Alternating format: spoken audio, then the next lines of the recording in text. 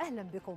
علاقة وطيدة تجمع مصر والمملكة الأردنية الهاشمية بدأت مع استقلال المملكة في عام 1946 حيث تتميز تلك العلاقة بكونها علاقة فريدة بما يجعلها نموذجا يحتذى به في العلاقات بين الدول في ظل ما تمر به المنطقة من ظروف وتحديات كبرى.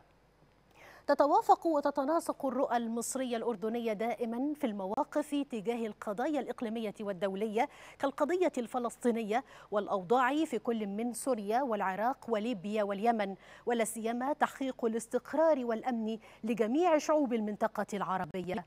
على صعيد العلاقات الاقتصادية. ترتبط مصر والأردن بعدد من الاتفاقيات التجارية الثنائية والإقليمية المشتركة.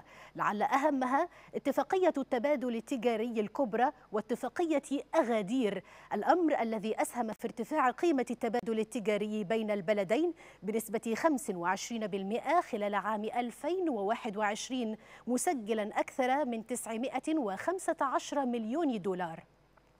كما تشرف على التبادل التجاري الثنائي لجنة عليا أردنية مصرية مشتركة تجتمع بشكل سنوي دوري وتشهد توقيع عدد من مذكرات التفاهم والبرامج التنفيذية بما يسهم في الارتقاء بالعلاقات الاقتصادية بين البلدين.